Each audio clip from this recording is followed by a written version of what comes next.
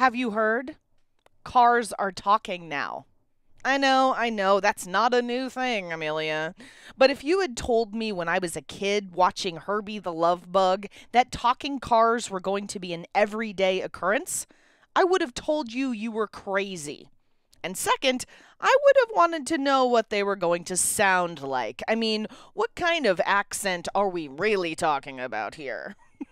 So, yes, cars are now talking, and they're going to keep talking to each other, to the streetlights, to themselves.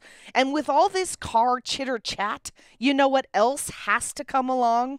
Yeah, a whole lot of RF. If we're going to continue to innovate in the automotive communication sphere with a little help from cameras, sensors, LIDAR, radar, and the like, we're going to need to investigate every single part of RF connectivity. Hi, I'm Amelia Dalton, host of Chalk Talk. To keep on track with the rise of today's automotive communication, we need RF technologies that can handle high density, high bandwidth, and low latency applications.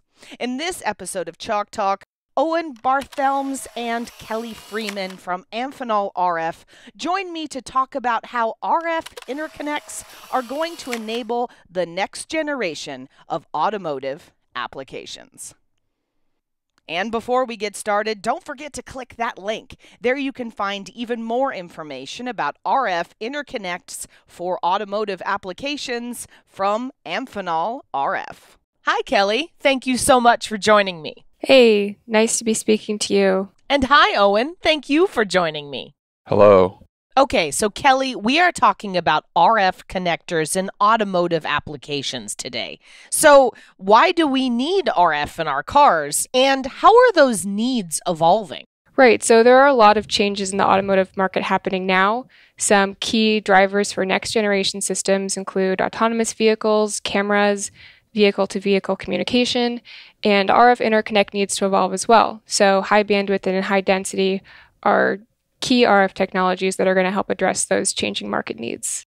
Okay, so before we get very far, historically, where have we been seeing RF used in automotive designs? Yeah, there's a lot of current use of RF technology in vehicles. So, a great example is rear backup camera. We're used to seeing those, and turn by turn GPS. We also see those on displays in a lot of vehicles today. Also, some wireless functions like cellular communication and vehicle to vehicle communication for what we call ADAS or advanced driver assistance systems today. But these needs are changing, and some of these systems will remain in vehicles today, but will have some increased capabilities for new technology. So, there is a lot of talk in the industry about autonomous vehicles. Now, how does that change the direction we're taking with RF? So, just to give a brief definition of what we consider to be autonomous vehicles and when we expect to see them, autonomous vehicles are considered at different levels. So, levels two, three, and four we expect to see in the coming few years. So, at level two, we have really limited automation with the driver monitoring the vehicle, up to level four, which is fully automated in most conditions. So, IHS Markit anticipates that 21 million vehicles may be sold globally in the year 2035 mostly referring to levels three and four, where you don't have a driver necessarily monitoring the whole time.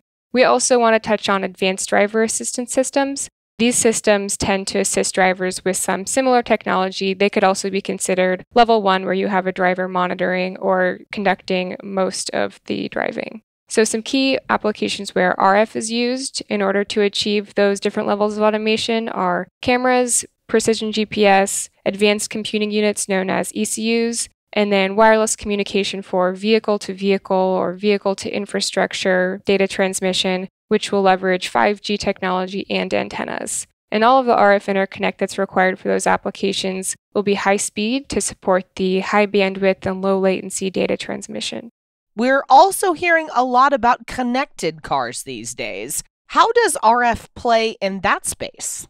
So, connected car is essentially connectivity to external devices and the internet. So we've seen a lot of those functions in the past with your GPS turn by turn, digital displays. That's really advancing to include some different safety and monitoring technologies like driver monitoring cameras that detect driver fatigue and distraction, remote fleet monitoring, where operators can see video feeds and diagnostics in real time, and then vehicle to vehicle or vehicle to infrastructure communication as well, which we'll touch on in a bit here. Infotainment and driver information, again, some of these technologies we've been seeing in the past. These are also expanding for user experience, things like Wi Fi hotspot from cellular connectivity. And some key RF interconnect technologies that are going to enable all these functions include cameras, advanced displays with higher resolution, precision GPS, telematics, and different wireless technologies like cellular and Wi Fi being incorporated into the vehicle with advanced antennas. Are there applications outside of automotive applications that we could use these technologies? Absolutely, and we're seeing some adoption of those already today. So we see different industrial kinds of vehicles as well as mobile robots and other mobile technologies that are benefiting from these systems.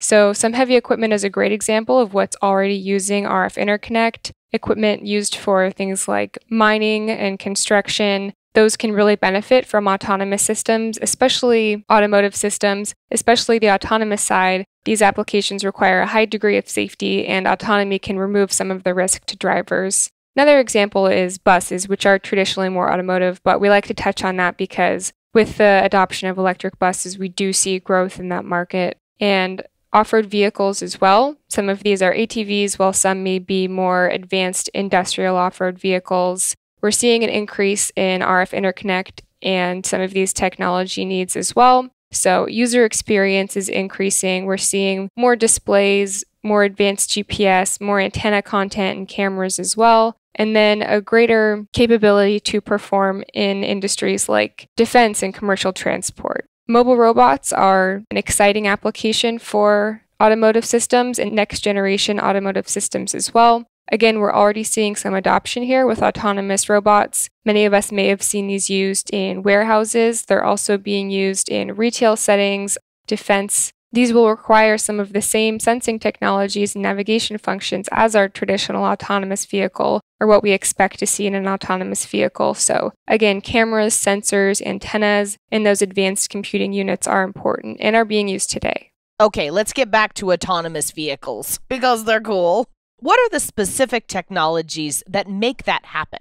Absolutely. So, sensors, including cameras, are really the cornerstone of how an autonomous vehicle navigates. We can consider these to be the eyes of an autonomous vehicle.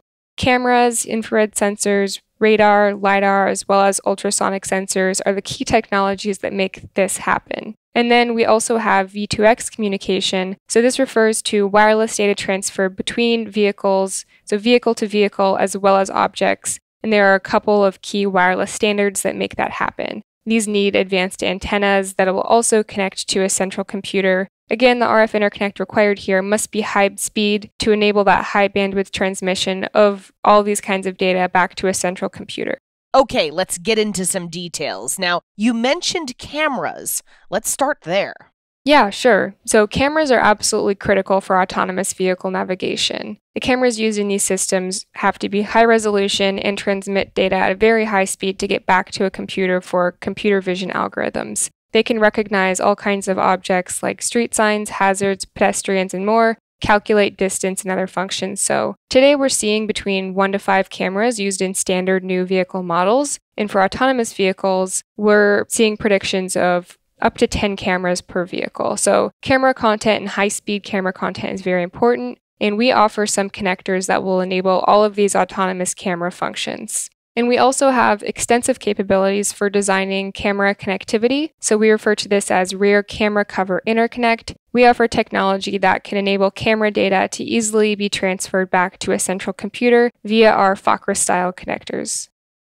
We know GPS has been used in automotive applications for a long time and in autonomous vehicles too. So, how does that relate to your emerging technology?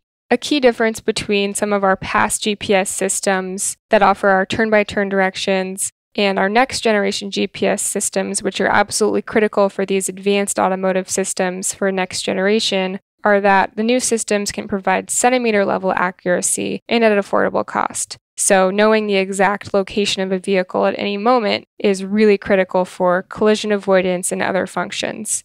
These require GPS antennas and receivers, which again will connect back to a vehicle computer. And we do offer lots of different cable assembly products for that connectivity.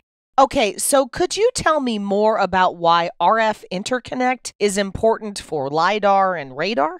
Yeah, LiDAR and radar are also critical sensor technologies for autonomous vehicle navigation. They can detect objects and provide functions including collision mitigation, and these used laser based detection and radio wave detection, respectively. An RF interconnect is sometimes used for these systems to transfer that data back to a computer to have functions like sensor fusion, so integrating that data in with other sensor and camera data in order to run algorithms that enable fully autonomous navigation. And sometimes these sensors will be using RF interconnect to get data back to a sensor fusion system. So, of course, all of the different sensor technology has to be integrated to provide autonomous navigation. And sometimes RF interconnect is used to achieve that. So, connecting that data back to some kind of a central computer.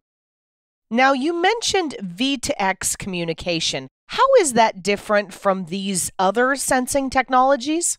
V2X communication refers to vehicle to everything technology. So the key here is that we're experiencing high speed communication between vehicles and other objects. So vehicle to vehicle can communicate speed, direction of travel, and braking between two vehicles, which can enable collision avoidance and more, as well as vehicles to roadside units or even traffic lights for things like traffic light timing for intersection safety.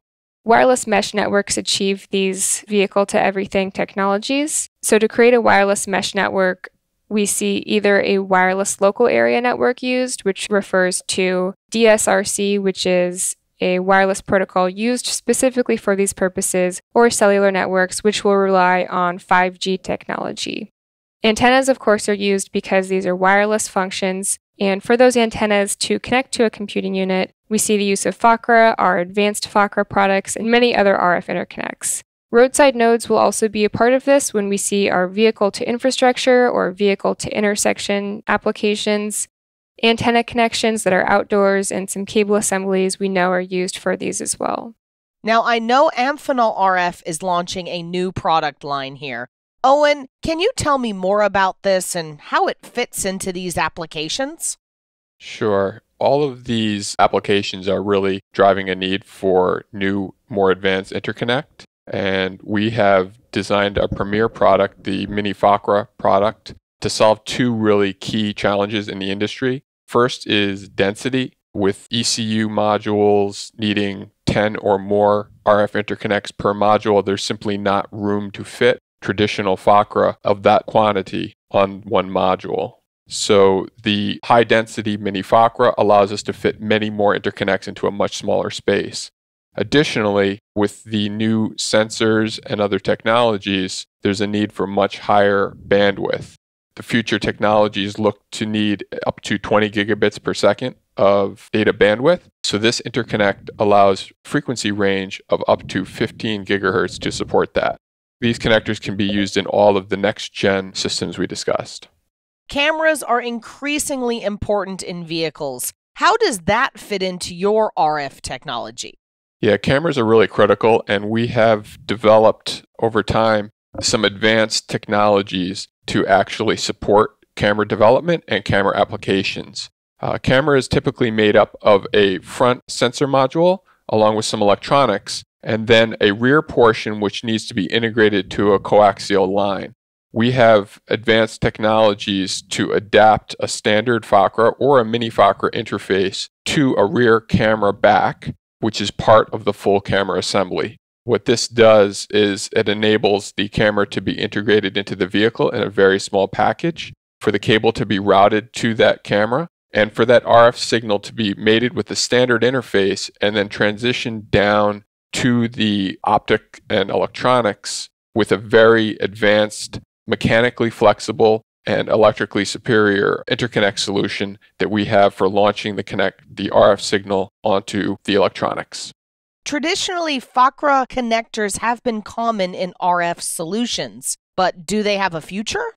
Yeah, we have been producing FAKRA connectors in support of the automotive industry for over 20 years. So we have a lot of history with the product, and the product has evolved over the years. The current generation of product has a very efficient assembly method, so it's much more cost effective and much more robust for high volumes. So while we see in the future there's going to be an advancement towards new interfaces like Mini FAKRA, FAKRA itself still has a lot of applications because of its robustness and because of its availability in the industry. Are there any other products you guys have that are more specialized to address some of these specific applications we've been talking about? Yeah, and while we talk about the FAKRA product line, as we look at new technologies, FAKRA was originally designed to work really to 3 gigahertz. So we have a special version of the FAKRA that actually supports 6 gigahertz, which fits well with a lot of the current technologies, whether they be video signals for cameras or some of the wireless signals or V2X communication. We also have a sealed FAKRA product line which fits really well for some of the more challenging applications and locations within the vehicle that FAKRA or RF interconnect need to be placed, like under the hood and in mirrors and in the rear of the vehicle in camera applications. We also have HSD cable assemblies. HSD is another interface. It's actually not RF. It is a high speed digital signal but it's still used in a lot of applications today. So we have a supporting product line of cable assemblies in fixed lengths to make it easy to integrate these products into vehicles. A lot of these advanced systems we're talking about use wireless communication. So I'm assuming antennas are involved here? Yeah, antennas have been used on vehicles for a long time, but there is a big evolution occurring with them today. Next generation of antennas are being called smart antennas. And the big change here is that the electronics that are typically spread around the vehicle in multiple control units are now being integrated directly with that antenna. What that does is it brings some new packaging challenges. So the antenna is typically mounted on a vehicle or on the roof portion of a vehicle, and there are now multiple RF signals that need to be brought from the outside of the vehicle to the inside of the vehicle to an electronic control unit. We have a technology called HDEFI, which works very well to connect that antenna from the external location to the electronic control unit on the internal location in a very robust way with high bandwidth to 6 gigahertz. This has been great and a lot of information. What are the key takeaways here? Sure. Amphenol RF has both standard products and extensive custom capabilities that address all of these next generation automotive systems and requirements. So, some key applications for those are cameras, advanced driver assistance systems, and the next step, autonomous vehicles, including sensors like LiDAR and radar, and V2X wireless communication.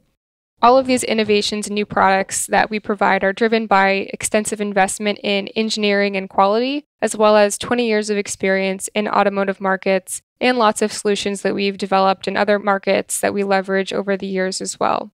Our Automate Mini FAKRA line is really key to allowing these new automotive systems, offering substantial density over a traditional FAKRA, as well as innovations in the FAKRA line itself. So we have evolution to our Gen 4, which offers our cost effective assembly, as well as sealed FAKRA and high speed 6 GHz FAKRA. And finally, camera interconnect is a key specialization of ours, so we can provide camera suppliers and OEMs with customized integrated camera packaging solutions that are sealed and ruggedized. Excellent. Well, I think that's all I have time for today. Thank you so much for joining me, Owen and Kelly. Thank you. It was fun. Yeah, of course. Thank you. And before we go, you didn't forget to click that link, did you? There you can find even more information about RF interconnect solutions for automotive applications from Amphenol RF. For Chalk Talks, I'm Amelia Dalton from eejournal.com. For more Chalk Talks, head on over to the Chalk Talk section of EE Journal. Can't miss it, it's right across the top. Or head on over to youtube.com slash EE Journal.